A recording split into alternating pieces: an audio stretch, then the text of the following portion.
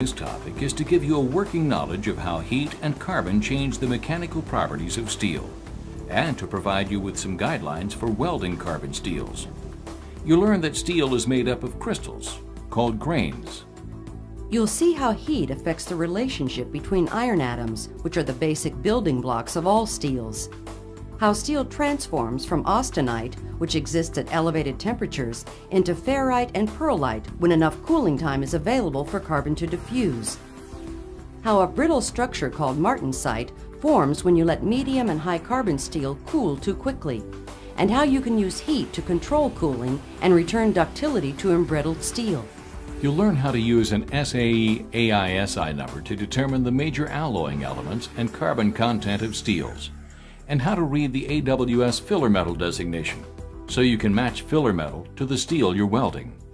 From your own experience, you know that welding, the localized heating and cooling of metal, causes distortion, and that the amount of distortion is related to the rate of thermal expansion and the thermal conductivity of the metal you're welding, and that if you're not careful, welding can cause cracking. We're going to look briefly at the reasons that distortion and cracking occur in steel, and those lie deep within its very structure. In its simplest form, steel is an alloy of iron and carbon. Carbon gives steel mechanical properties like hardness and strength, and it only takes a little carbon to do the trick. Most commonly welded steels contain up to 0.3% carbon by weight. That's not very much. Steel contains other alloying elements besides carbon, like manganese and silicon, along with impurities like sulfur and phosphorus that come from the steel making process. But carbon has the biggest effect on weldability. Molten steel solidifies by forming crystals called grains, just like water starts to form ice crystals when the temperature reaches 32 degrees Fahrenheit or 0 degrees Celsius. As the grains grow together, they form irregular boundaries where they meet. Each grain is made up of millions of iron atoms arranged into cubic microstructures called space lattices. At room temperature, the iron atoms are arranged in a body-centered cubic, or BCC space lattice. Carbon is soluble in iron, and carbon atoms are smaller than iron atoms, so they occupy the space, called interstitial space, between iron atoms. As the temperature increases to a critical point, called the transformation temperature, the space lattice changes from BCC to face-centered cubic, or FCC. And when it cools below the transformation temperature, it changes back to a BCC space lattice again. This ability to change from one type of microstructure to another is called allotropy. Above the transformation temperature, steel is made up of grains of austenite with a face-centered cubic microstructure. Austenite is non-magnetic, and it can hold up to 2% carbon by weight in solution. Below the transformation temperature, steel exists in the form of ferrite and pearlite. Pearlite grains consist of alternating layers of ferrite, which is very ductile because it's very low in carbon, and cementite. Cementite is high in carbon, so cementite is very hard. The FCC lattice of austenite has more space available for carbon than the BCC microstructures that form below the transformation temperature. That means that the phase changes that occur during heating and cooling require the diffusion or movement of carbon, and diffusion takes time. So let's see what happens to carbon steel when there's enough time for diffusion to occur. To simplify matters, we'll limit our discussion to steel with less than 0.8% carbon by weight, since you'll seldom have to weld on metal with higher carbon content than this. Just like water transforms to ice, as the temperature drops below 32 degrees Fahrenheit, or 0 degrees Celsius, so too austenite must start to transform into bodied centered cubic microstructures when it drops below the transformation temperature. But unlike water, the transformation temperature for steel varies with carbon content. For example, if the carbon content is 0.02% or less, the transformation temperature is 1670 degrees Fahrenheit but as the carbon content increases, the transformation temperature drops to as low as 1333 degrees Fahrenheit at 0.8% carbon. Below 0.8% carbon, ferrite starts to form along the grain boundaries of the austenite. Carbon has very low solubility in ferrite, less than 0.02%, so the excess carbon diffuses into the untransformed austenite. The process continues as the temperature drops, creating islands of carbon-enriched austenite surrounded by ferrite.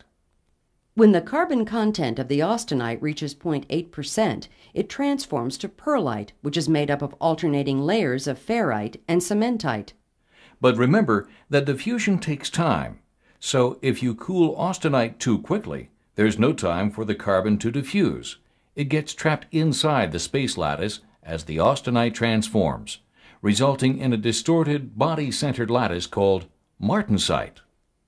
Martensite has an acicular or needle-like structure.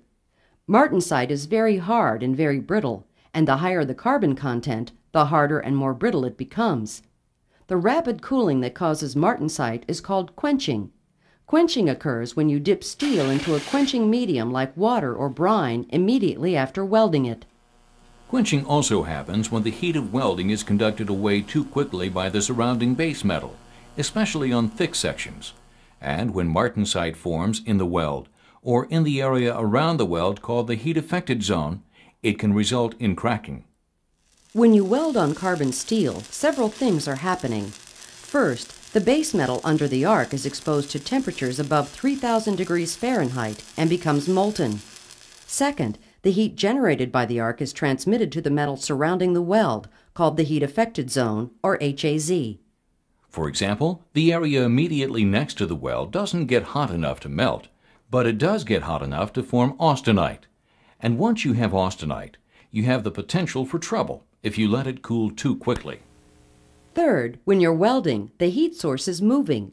So, as the metal under the arc is melting, the metal ahead of the arc is picking up heat, and the metal behind the arc is freezing to form the weld. For a time, as the molten metal starts to cool, it transforms to austenite. And when you have austenite, you have the potential for trouble. Why? Because if you let austenite cool too quickly, the carbon doesn't have time to diffuse. And why is that such a problem? Because you end up with martensite, and martensite is brittle. So, in most cases, when you're welding on carbon steel, you want to prevent martensite from forming, and the best way to do that is to control the rate at which the metal cools. Steel is classified as low carbon, medium carbon, or high carbon based on carbon content. Low carbon steel, like the steel used to make nails and welding electrodes, contains up to 0.3% carbon by weight. Medium carbon steels, like the steels used to make gears and crankshafts, contain between 0.3 and 0.6% carbon by weight. And high carbon steels, used for dies, cold chisels, and springs, contain between 0.6% and 1% carbon.